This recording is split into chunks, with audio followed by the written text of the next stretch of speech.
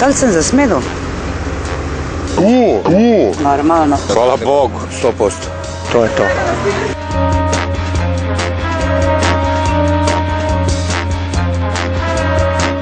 Plate veće 30%. U, u. Normalno. Hvala Bogu, 100%. To je to.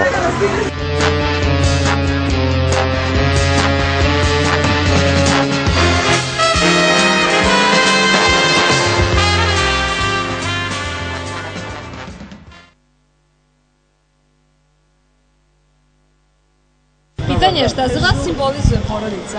Danas je svjetski dan porodice. Porodica. Šta je za vas porodica? Znate neke mlađe, mi smo već prošli. Šta za vas simbolizuje porodica? Ne bih Šta mi po- porodica, pa evo deca, na primjer, i tolerancija, da kažem. E, molim.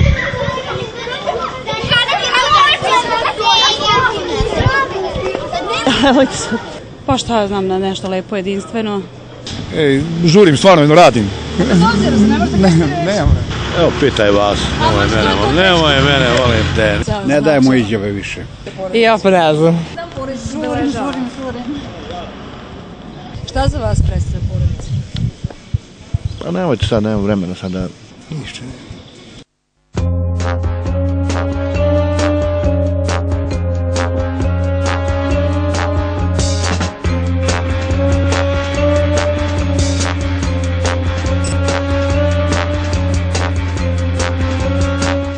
Da li sam za smenu?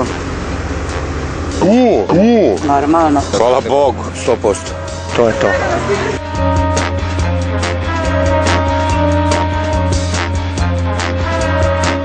Plate veće 30%. U, u. Normalno. Hvala Bogu, 100%. To je to.